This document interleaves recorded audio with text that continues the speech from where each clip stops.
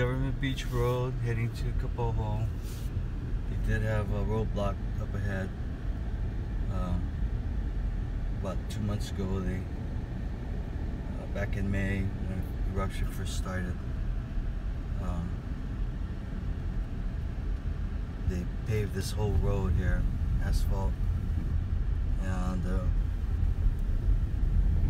it's a dead end. Um, close to four corners up ahead. Uh,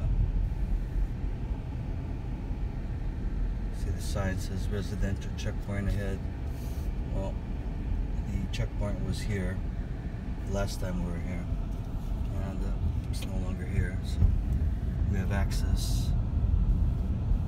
This should be very interesting. Used to be able to go to Kapoho from here our warm ponds, shower, bathrooms. So it's going to be mind blowing. Coming up ahead here. This is on the way to Kapoho, Four Corners. And we'll see what it looks like.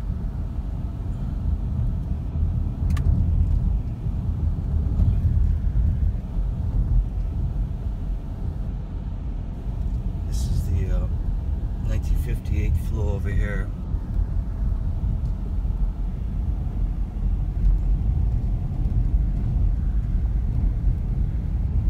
Abandoned cars.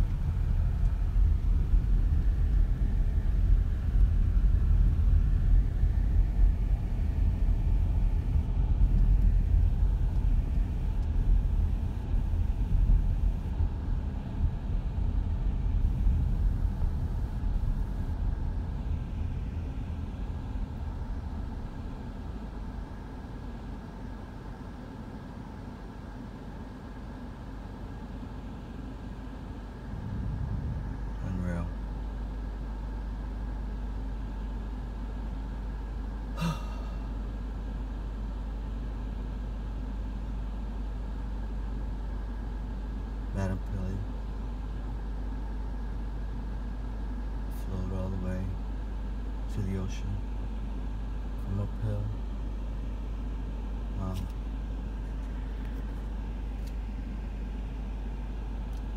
yeah, I don't think they're gonna be opening up this road soon.